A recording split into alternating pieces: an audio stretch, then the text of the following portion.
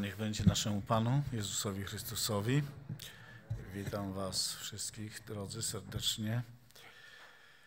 Tak siedzę, uwielbiam, modlę się, wie Panie, chyba muszę się intensywniej modlić o moje uzdrowienie, żeby już w końcu można było tak normalnie się poruszać.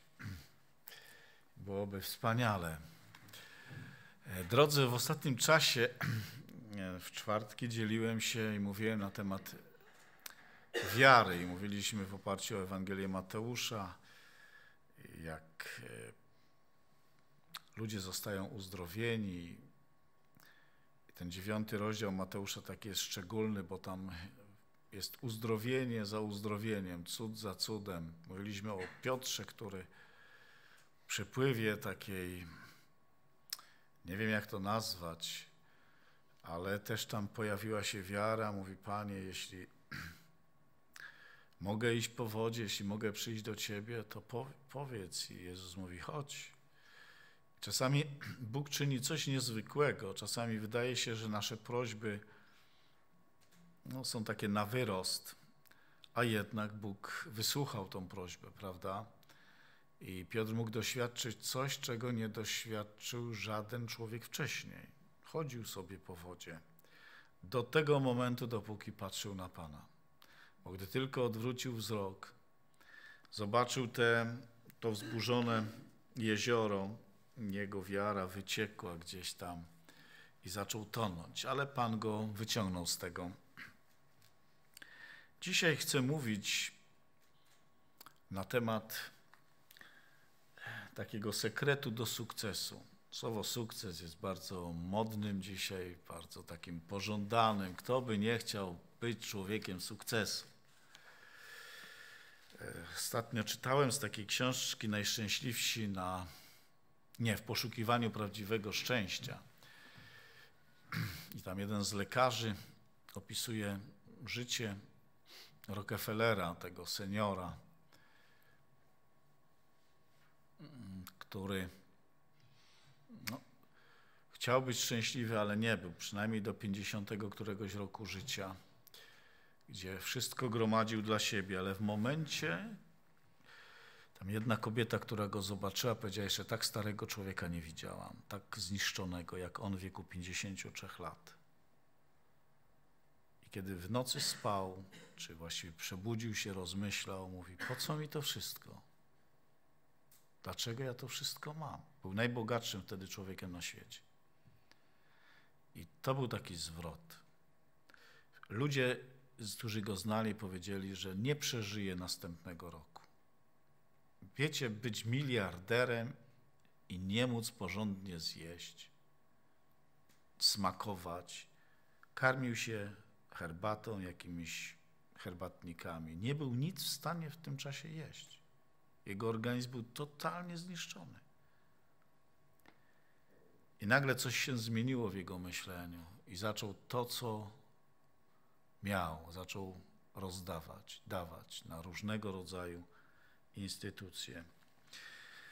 Wiecie, jest to droga i coś doświadczył z tego, z tego, co Bóg mówi, że jeżeli my dzielimy się sobą, dzielimy się tym, co mamy z innymi, nagle odkrywamy w tym wielką radość, wielkie błogosławieństwo. Nawet jak nie wierzymy w Boga, bo trzymamy się pewnych praw, pewnych zasad. Ale ja nie o tym chcę dzisiaj mówić.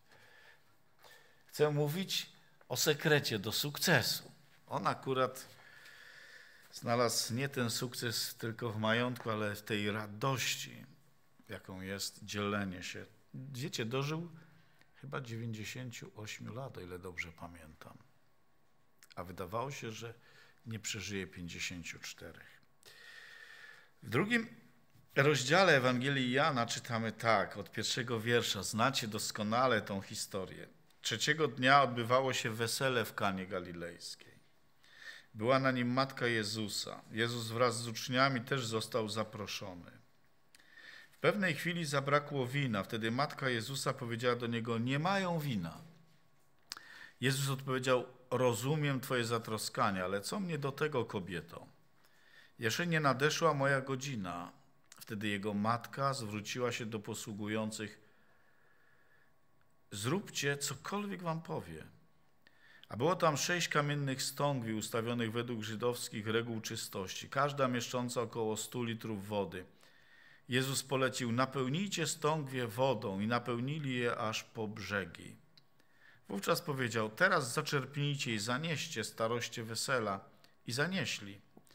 Gdy starosta spróbował wody, która stała się winem, a nie wiedział skąd ono się wzięło, gdyż wiedzieli o tym tylko posługujący, którzy zaczerpnęli wody, zawołał pana młodego i powiedział: Każdy stawia najpierw dobre wino, a gdy goście sobie podpiją gorsze, ty jednak dobre wino zachowałeś aż do tej pory.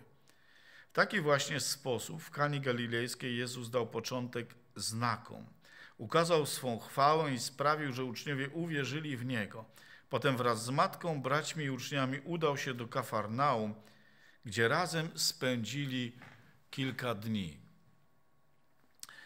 Drodzy, jak nieraz mówiłem, ta historia, ten cud w Kani Galilejskiej nie wszystkim może jest na rękę.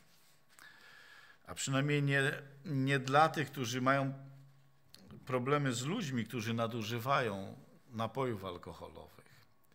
Ale tutaj czytamy, że Jezus spośród 35 cudów, to jest jeden z opisanych spośród 35 cudów wymienionych w różnych Ewangeliach, opisanych cudów, których dokonał Jezus. Gdybyśmy liczyli w, każ w każdej Ewangelii, to naliczylibyśmy 35 takich przypadków oprócz tego, które po prostu są nieopisane. Bo Jezus uzdrawiał całymi wieczorami, prawda, kiedy już słońce zachodziło, przychodzili mnóstwo chorych i tak dalej, i tak dalej. Ale między innymi ewangelista Jan z tych 35 wybiera siedem cudów Jezusa, nazywa je znakami i chce poprzez te znaki, te cuda doprowadzić tych, którzy tą Jego Ewangelię będą czytać, do wiary, że Jezus jest Synem Bożym, jest Mesjaszem. W 20 rozdziale tej Ewangelii, w 30 i 31 wierszu jest napisane wiele też innych znaków cudów dokonał Jezus wobec swoich uczniów. Nie zostały one spisane w tej księdze. Te natomiast zostały opisane po to, abyście wierzyli, że Jezus jest Chrystusem, czyli Mesjaszem, Synem Boga, i abyście wierząc mieli życie w Jego imieniu. Jan wybiera siedem takich znaków i na pierwszym miejscu wybiera ten cud w Kanie Galilejskiej. I za chwilę chciałbym, żebyśmy się temu wydarzeniu bliżej przyjrzeli. Ale pamiętacie, Jan opisuje w tym wydarzeniu, że Jezus jest pełnym mocy Synem Bożym. Ma zwycięstwo nad chorobą i niemocą. I on e, objawia to przecież poprzez uzdrowienie ślepego od urodzenia. Ci, którzy to widzieli, powiedzieli, jeszcze nikt nigdy czegoś takiego nie widział. Jeszcze żeby ktoś ślepo narodzonemu przywrócił wzrok. Jezus był w stanie dokonać cudów, pokonując wszelkiego rodzaju przestrzeń. Kiedy przyszedł dworzanin, mówi: Uratuj mojego syna, bo jest chory. Jezus powiedział do niego: Idź, syn twój żyje. Nawet nie musiał być w miejscu, gdzie ten chłopak umierał, to dziecko umierało. I kiedy dworzanin uwierzył na słowo Pana, odwrócił się i poszedł do domu, przekonany, że Jezus już to zrobił. On tego jeszcze nie widział. I wyszli jego słudzy, powiedzieli: Twój syn żyje. Poprawiło mu się. On mówi, kiedy to się stało? I rozpoznał, że to było w tym samym czasie, kiedy Jezus do niego te słowa, te słowa powiedział. Widzimy, jak Jezus ma moc nad siłami natury. On idzie po wodzie. Jan o tym pisze. I wsiada do łodzi i, i łódź dobija do brzegu wyprowadza ze śmierci łazarza, który jest w grobie i, i ludzie już się boją, bo przecież jak otworzą grób, to będzie cuchnęło. Pełen mocy. Jan wymienia tylko tych siedem cudów i mówi, one wystarczą, aby człowiek, który o tym czyta, który ma tą relację, to świadectwo, aby uwierzył, że Jezus jest Synem Boga żywego i przez wiarę w Niego miał życie wieczne. Tak więc tak Jan konstruuje swoją, swoją Ewangelię. Powiem tak, cud w Kanie Galilejskiej jest szczególnym cudem. Nie dlatego, że woda zamieniła się w wino, w tym znaczeniu, że ci, którzy lubią mocne napoje, to, to mają argumenty dla siebie. Nie. Chociaż powiem tak, wino w czasach czy w życiu Izraela było błogosławieństwem. Było wynikiem Bożego błogosławieństwa, co miało sprawić radość ludowi Bożemu. Oczywiście wszelkie nadużywanie, upijanie się w Biblii nazwane jest grzechem. I my doskonale wiemy, że w wielu miejscach Nowym Testament mówi, że pijacy, upijający się pijacy nie odziedziczą Bożego Królestwa. To nie jest tylko słabość, choroba, bo tak to jest zakwalifikowane ale za tym kryje się, to jest coś grzesznego w oczach Boga, bo nikt nie urodził się pijakiem, no chyba, żeby matka w ciąży y, używała alkoholu i rzeczywiście mogą być pewne z, y, już y, y konsekwencje tego, uzależnienia. Ale to się kończy bardzo tragicznie. Natomiast y, to jest pewien proces, gdzie człowiek przekracza wyznaczone przez Boga granice, Dlatego apostoł Paweł mówi: Nie dam się niczemu zniewolić. Niczemu. E, mówiąc niczemu, nie ma na myśli tylko alkoholu. E, w ogóle wszystkiemu. Nie pozwolę, żeby jakakolwiek rzecz mnie tak zdominowała, że jeśli jej nie będę miał w ciągu dnia, to ja tego dnia nie jestem w stanie przeżyć. Nie dam się. Nie pozwolę. Też musimy zwracać uwagę, czy, czy są takie rzeczy w naszym życiu. Ale cud w Kanie nawiązuje do potężnej stwórczej mocy Boga. Bo przecież myśląc zdroworozsądkowo, nikt z nas e, nie powie tak, że woda może zamienić się o tak po prostu w wino. No nalej i zobacz rano, jak to będzie. Ale przecież Tutaj łamane są wszelkie zasady natury. Oto nie ma odpowiednich składników, nie ma procesu fermentacji. E, ci ludzie wlewają do tych stągwi wodę i zaczerpują, i okazuje się, że to jest doskonałe wino. Nie jakieś tam, ale dobre, doskonałe, lepsze niż było podane do tej pory na tym weselu. Ludzie mówią, świat, żeby cokolwiek powstało, potrzebuje milionów lat. Ale ja tutaj patrzę, Jezus nie potrzebuje godziny, pięciu minut, tygodni, miesięcy, lat. On rzekł słowo i coś się staje. Tu jest moc stwórcza Boga. W jednym momencie, w jednej chwili On tworzy z wody wino, zmienia naturę rzeczy pokazuje, że jest Bogiem. Wiecie, to jest ta sama moc, która objawia się na początku tej Biblii, kiedy jest powiedziane na początku, Bóg rzekł słowo i stało się. Wypowiada słowo. I w języku hebrajskim, kiedy jest napisane, że i stworzył Bóg, uczynił Bóg, hebrajskie słowo bara zawsze w Starym Testamencie odniesione jest do Boga, nigdy do człowieka. Przypisane to jest Bogu. Bara znaczy stworzyć coś z niczego, w jednym momencie, w jednej chwili. Myślę, że tutaj ewolucjoniści mają poważny problem, dlatego że nie rozumieją, nie znają i nie wiedzą, kim jest Bóg. Kiedyś Sadeuceusze przyszli do Jezusa i mówią, jak to jest z tym zmartwychwstaniem? I wy znacie tą historię, prawda? Było tam siedmiu braci, jedna kobieta i jeden po drugim umierał i stawała się żoną każdego. Mówią, to czyją będzie żoną po śmierci? Wtedy Jezus mówi, błądzicie, bo nie znacie dwóch rzeczy. Błądzenie polega na tym, jeżeli chodzi o rzeczy Boże, rzeczy duchowe, kiedy ludzie nie znają pisma i nie znają mocy Boga. Jeżeli nie uznaję, że Bóg ma wszelką moc, mam problem.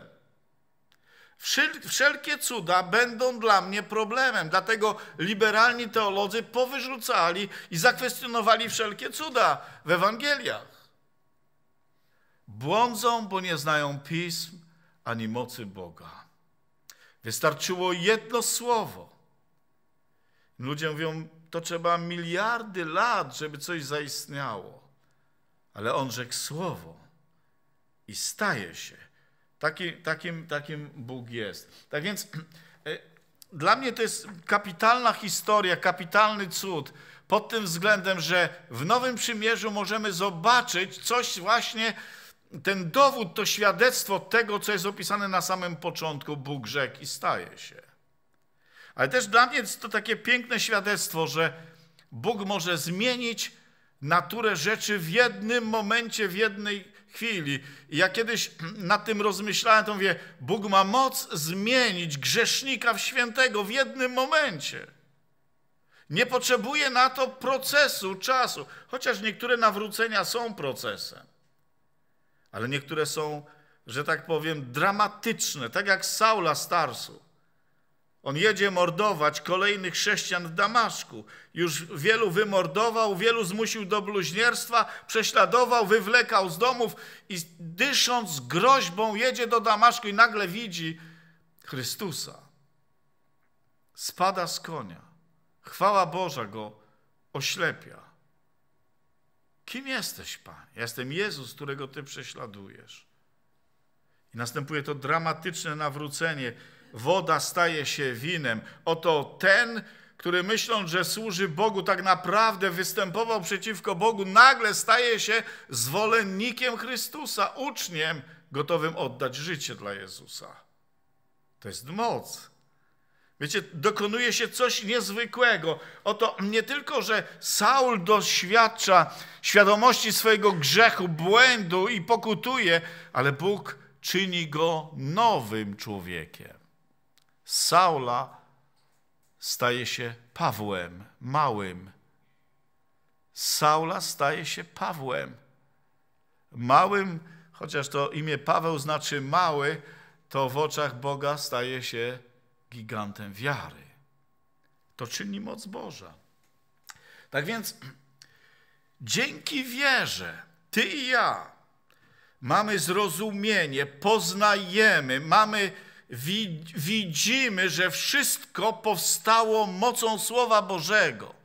Nie stało się to, jak mówi list do Hebrajczyków 11, czy przez pewne procesy ze świata zjawisk, ale stało się to mocą Słowa Bożego. Powstały wieki, powstały światy, jak mówi nam ten list do Hebrajczyków. To, co widzialne i to, co Y, dla nas niewidzialne powstało dlatego, że Bóg jest ponad tym wszystkim. Halleluja. Mamy Boga wszechmogącego, Boga, który ma wszelką moc. I oto Jezus jest na weselu. Jest Maria zaproszona i także Jezus z apostołami. Wesele w tamtym czasie to trwało co najmniej, tak z reguły trwało tydzień. Nie jeden dzień, nie kilka godzin tam wszyscy, tam było dużo radości, dużo wesela i tak dalej, i tak dalej. I zabrakło, zabrakło wina. I co jest takim, i co sprawia, że możemy widzieć w naszym życiu Bożą rękę, bo kiedy mówię i, i, i nazywam to sekretem do sukcesu, to myślę, mam na myśli sukces, kiedy widzę rękę Bożą w moim życiu i nad moim życiem. Kiedy widzę, że Bóg działa w moim życiu, to jest dla mnie sukces. Tak bym go zdefiniował. Obecność i działanie Boga w moim życiu. Kiedy ja to zobaczę? Kiedy będę mógł to do, Oto Maria jakby wychodzi troszeczkę przed szereg. Kiedy widzi, że jest problem, mówi do Jezusa, do swojego syna nie mają wina. Inaczej mówiąc, prowokuje go, żeby coś dokonał, coś zrobił. pamiętajmy, że to jest pierwszy cud tam w Kanie Galilejskiej, nie w ogóle pierwszy cud Jezusa. Tam w Kanie. I wtedy Jezus mówi: To jeszcze nie jest mój czas. Ale ona mówi przez wiarę. Widzę, jak Maria mówi tutaj przez wiarę do tych sług: Zróbcie cokolwiek wam powie. Ona miała tą wiarę i to oczekiwanie, że Jezus jednak odpowie na tą potrzebę i na tą prośbę. Że zrobi i zaspokoi tą potrzebę, która tam wyniknęła na tym, na tym weselu. I pierwszą rzeczą, i rzeczywiście widzimy, jak e, ona patrząc z wiarą, widzi, że przez wiarę, że Pan Jezus odpowie i coś zrobi, i widzimy, że Jezus zaczyna wkraczać do akcji. Nie zlekceważył tej wiary, tego oczekiwania. Bóg zawsze odpowiada na wiarę. Na to oczekiwanie. I pierwsza rzecz w tym zdaniu, zróbcie cokolwiek wam powie. Pierwsze, zrób. Zrób coś. No coś. Zrób, zacznij działać. Mamy zrobić to, co On nam każe. Bóg wzywa zawsze nas do działania, do pracy. Nie, nic się nie wydarzy, kiedy ty i ja nie zrobimy pewnych kroków, nie zaczniemy działać. Dopiero jak zaczniemy działać, wtedy będziemy mogli widzieć cuda. Tak jak Piotr. Panie, każ mi przyjść do siebie. Jezus mówi, chodź. No ale on musiał zadziałać. Wiecie, ja mam słowo, oczywiście, jeśli jest, mam słowo Boga, ja mogę być pewny, że Bóg jest ze mną. Ale on musiał zrobić ten krok wiary i, i wyjść z łodzi i iść w kierunku Jezusa. To wymagało naprawdę wiary. Uczniowie patrzyli ze zdziwieniem na Piotra, ale on miał wiarę i na słowo Pana ruszył zrób. A więc pierwsza rzecz do sukcesu, do takiego odbierania od Boga rzeczy, widzenia Bożej ręki w swoim życiu, to zacznij robić, zacznij działać. Bóg nie lubi bezczynności. Pamiętacie, jak mówi o tym tam podobieństwo tych, którzy siedzą na rynku i nic nie robią. I gospodarz wychodzi i najmuje i chodźcie do mojej winnicy, zróbcie coś. Mamy wiele do zrobienia, drodzy. Ja wiem, że jest praca, jest nauka, są inne rzeczy, ale oprócz tego jesteśmy wezwani, abyśmy coś zrobili w sprawie Bożego Królestwa. Dzisiaj tu jesteśmy, właśnie coś robimy w sprawie Bożego Królestwa. Przyszliśmy oddać Bogu chwałę. Przyszliśmy słuchać Bożego Słowa. To jest coś wielkiego. Coś robimy. Przypowieść o talentach nam o tym mówi. Ten jeden, który miał talent, zakopał go, nic z tym nie robił.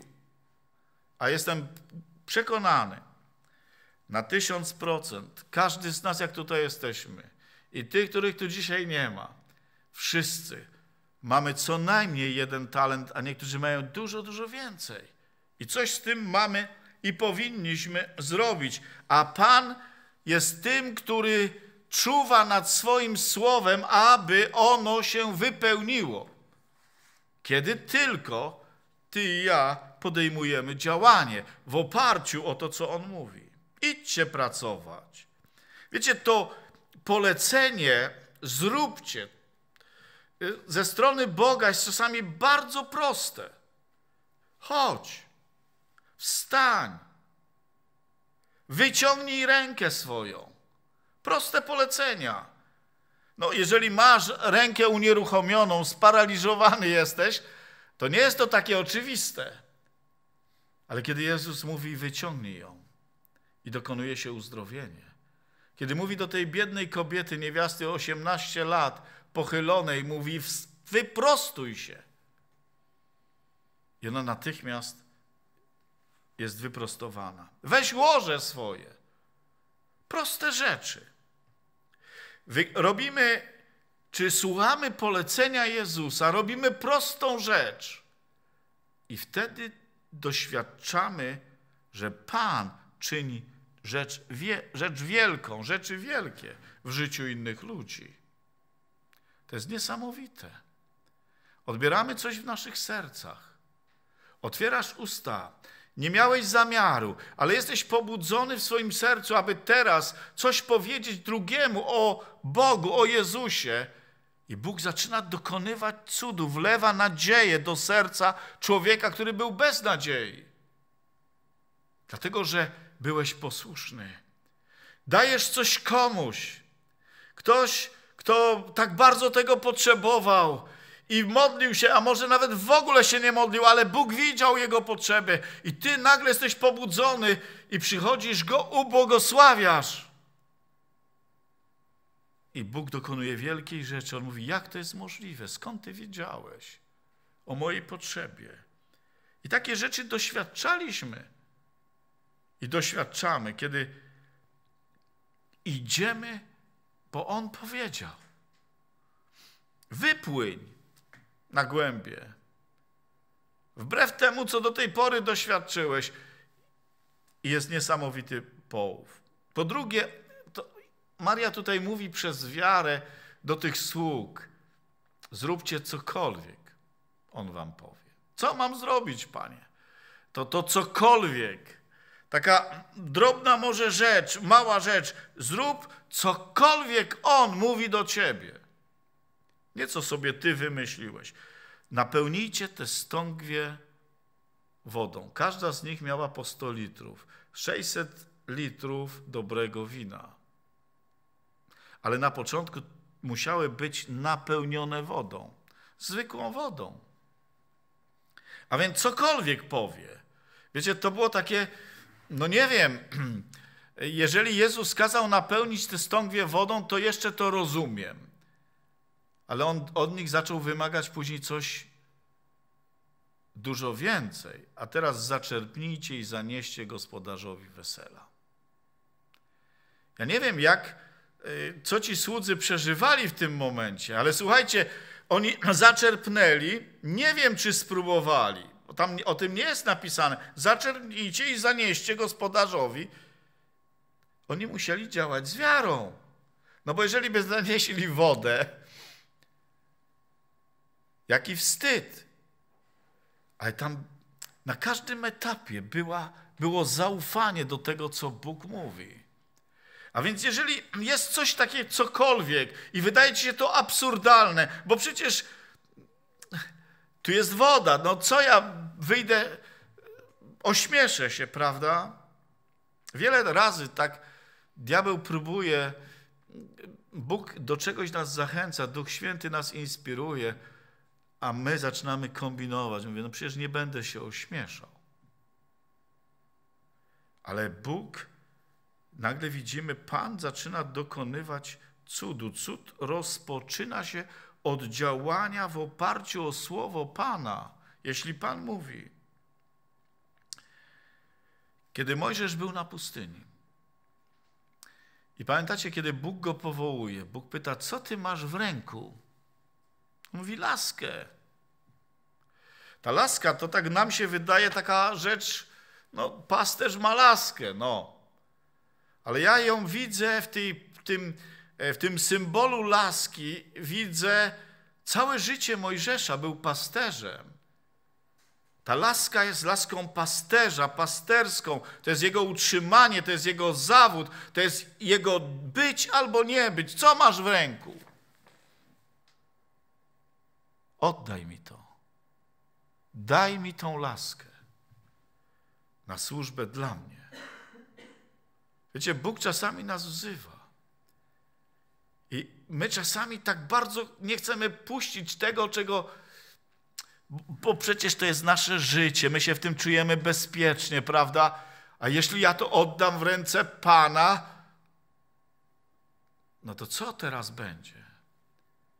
Ale nagle okazuje się, że kiedy Mojżesz jest gotów oddać siebie, tą laskę, w ręce Boga, widzi cuda. Bóg przez tą laskę dokonuje cudów i znaków. Niby prosta rzecz, ale kiedy oddajemy to w ręce Pana, siebie i to, co mamy, i to, kim jesteśmy, nagle Bóg zaczyna dokonywać cudów. Eliasz robi absurdalną rzecz. Jest na górze Karmel. Pamiętacie tą historię, tą walkę z prorokami Baala i Asztarty? Tam jest 400 proroków Asztarty i 200 chyba bodajże proroków Baala, jeśli dobrze pamiętam. Jest sam Eliasz, jest, jest lud Izraela i król. Jest wielka konfrontacja. Który Bóg odpowie przez ogień. Ten jest prawdziwym Bogiem. I prorocy Bala już zrobili swoje i godziny nacinali się i byli, że tak powiem, w, róż, w takim stanie ekstazy jakiejś, a, moku i nic, a Mojżesz spokojnie położył 12 kamieni reprezentujących 12 pokoleń Izraela. Położył ofiarę, okopał to, ten, ten ołtarz, a teraz mówi nalejcie na to wody. Wbrew wszystkiemu. No, ja bym chciał, żeby to było jak najbardziej suche. Wtedy jest większa szansa, że się to zapali. A tam ta ofiara tak była polana, że ten cały rów wokół ołtarza wypełnił się wodą. I jego modlitwa. A teraz, Panie, odpowiedz, bo zrobiłem dokładnie tak, jak mi powiedziałeś. Co masz w ręku? Co trzymamy tak mocno i nie chcemy puścić? A jeżeli puścimy, jeśli oddamy to Panu, Bóg zrobi cuda, dokona cudów. I nagle ogień spadł i strawił wszystko łącznie z kamieniami i wodę wysuszył. I cały Izrael padł na twarz i zaczął wołać: Bóg jest Panem. Bóg jest Panem. Gedeon a więc cokolwiek Bóg ci powie, wydawałoby ci się to absurdalne, nielogiczne, ale skoro On tak powiedział, zrób to. Wiecie, nigdy Bóg nie wprowadzi nas w taką sytuację, że będziemy się wstydzić, czy zrobimy coś niestosownego. Ale w oczach ludzi, czy nawet naszych, będzie to wyglądało na nierozsądne. Bo przecież, panie, całą noc łowiliśmy i nic, a ty znowu każesz nam wypłynąć i to w dzień, kiedy w ogóle ryby nie biorą. Prawda? Gdzie tu logika? A jednak. A jednak. Gedeon miał na wezwanie do walki z Midianitami stanęło 32 tysiące ludzi. A Bóg go, Bóg kazał mu tych ludzi odsyłać do domu. Więcej i więcej i więcej. I wiecie, i wiecie ile mu zostało? 300 z 32 tysięcy, o których są wspomniali. Gdzie tu logika? Ale cokolwiek wam powie. Bo Bóg mówi tak, nie chcę, żeby lud powiedział własną siłą, żeśmy to zrobili. Halleluja własną siłą. Człowiek lubi się chwalić. Wierzący też lubią się chwalić. Czasami kaznodzieja też w przystępie jakiejś takiej ten próbuje koloryzować. Głosiłem i cuda, i uzdrowienia, i tam może być, ale musimy być szczerzy i uczciwi. Nawróciło się dwieście. A ktoś mówi dwadzieścia.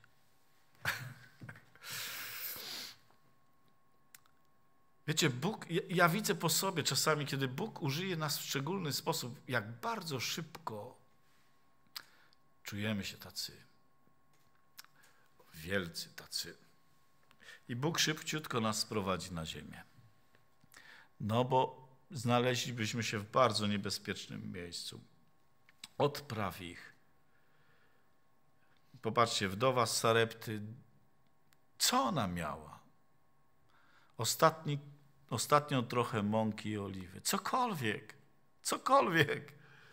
Tak mało. Chłopiec oddał pięć chlebków i dwie rybki. Co to jest na pięć tysięcy samych głodnych mężczyzn?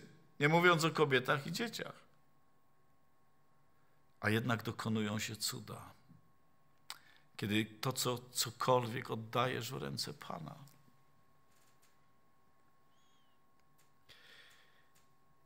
Maria mówi: zróbcie cokolwiek.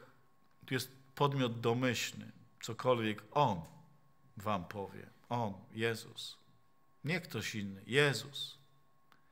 Mam słowo od Pana. Wiecie, to jest ciekawe, ale tam w Hebrajczyków jest, że poznajemy, że słowem Rema zostały uczynione światy. Nie przez zjawiska, nie przez jakieś procesy.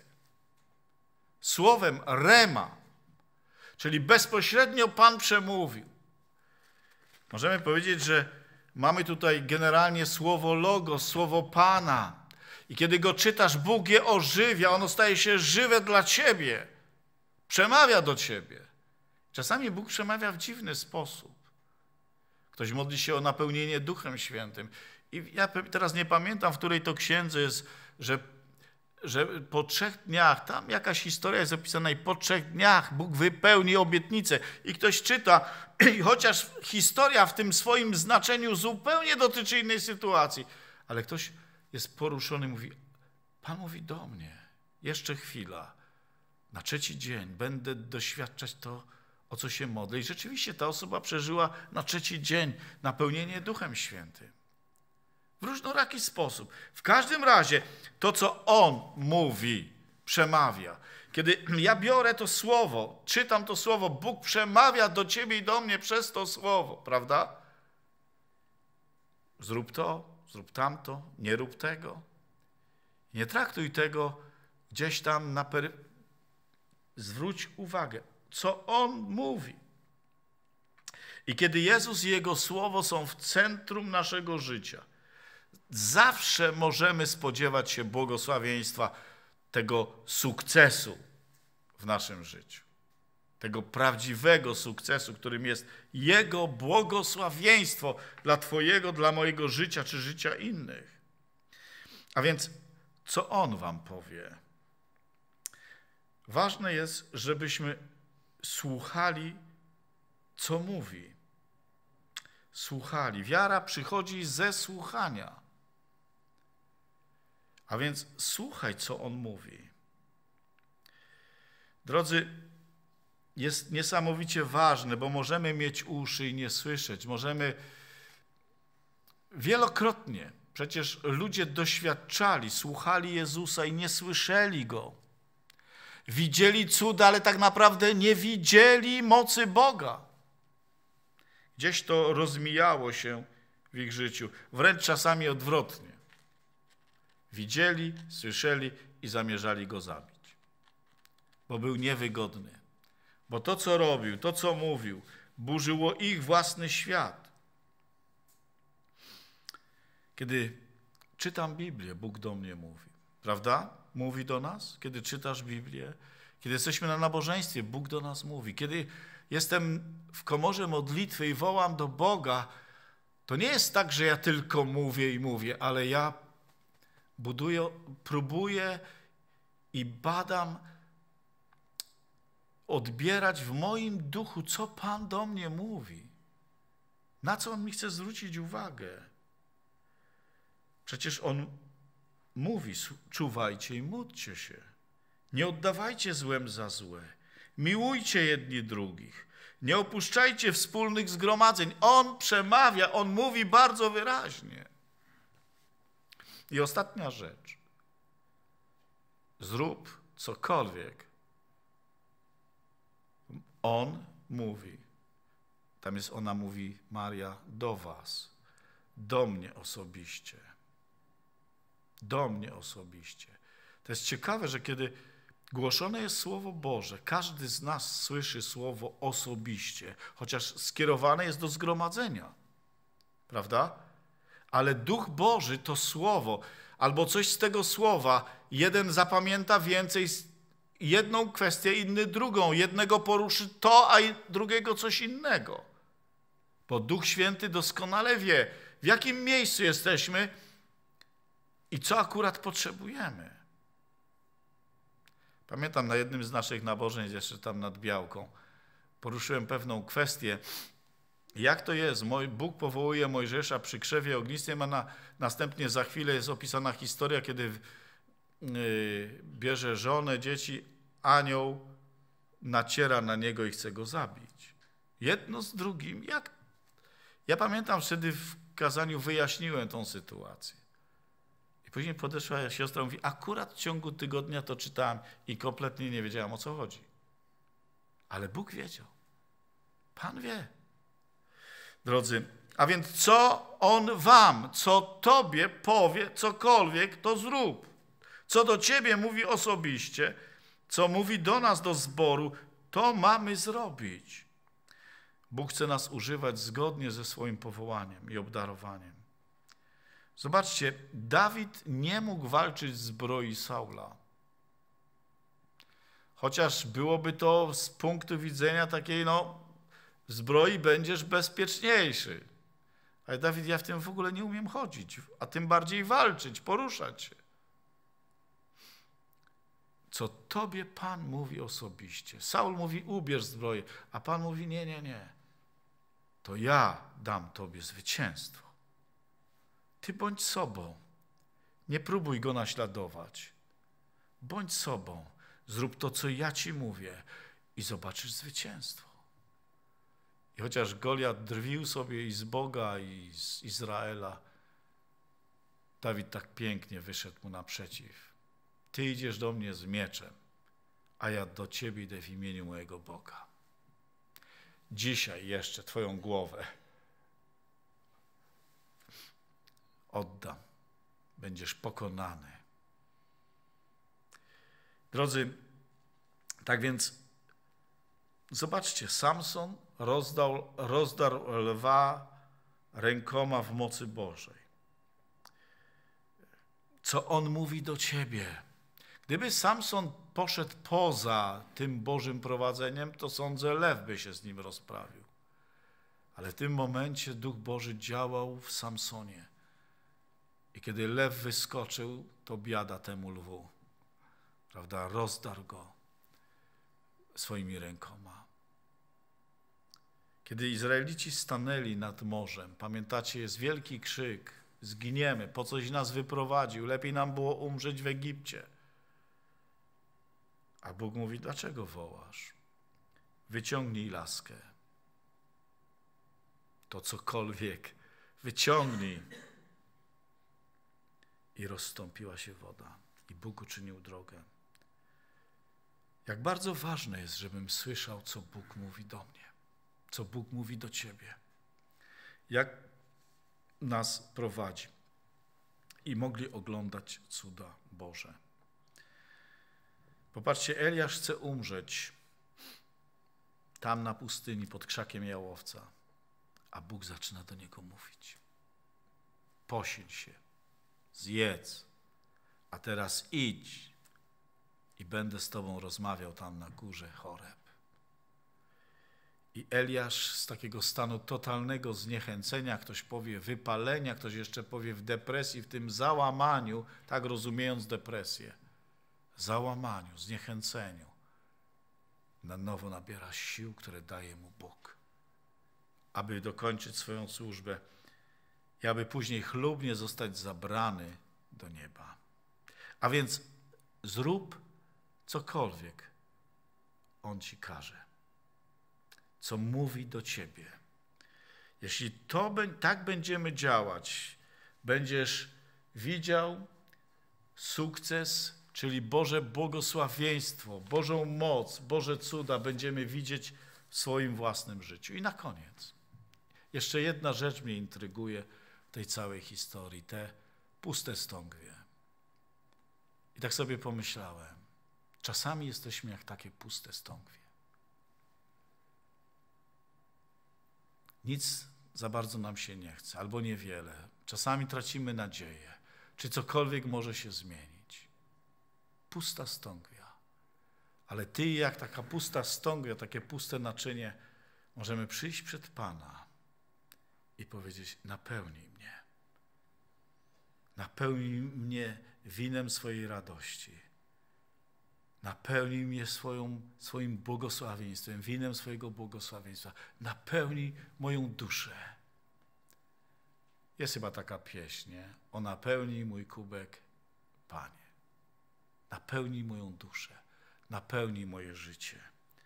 Drodzy, a Bóg, kiedy my w tym jesteśmy szczerzy, Kiedy jesteśmy tacy i mówimy, czuję się tak pusto, czuję się taki pusty, taki, nie wiem, gdzie podziało się radość, gdzie podziało się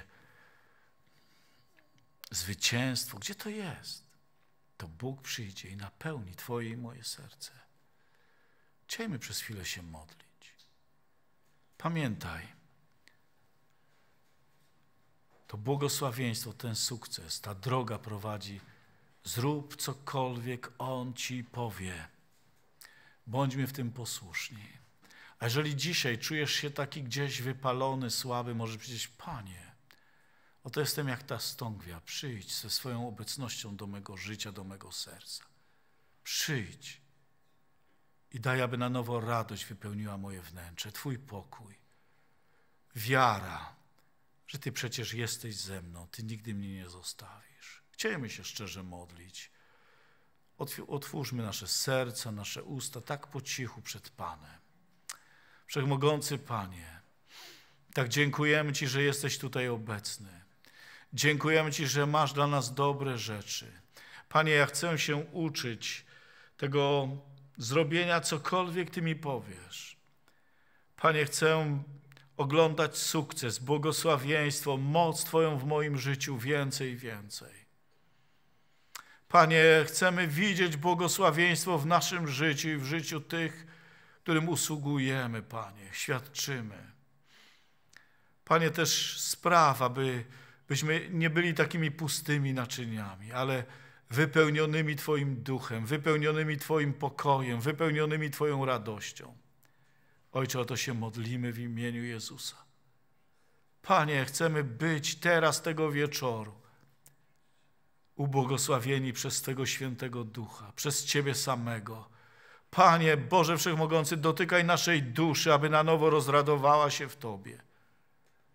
Napełniaj nas Twoim, Twoim pokojem, Twoją świętą obecnością. Oto modlimy się, Ojcze, w imieniu Jezusa.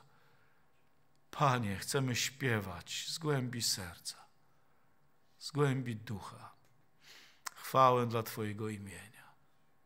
Pomóż nam, Panie. Panie, pomóż nam być posłusznymi temu wezwaniu. 阿门。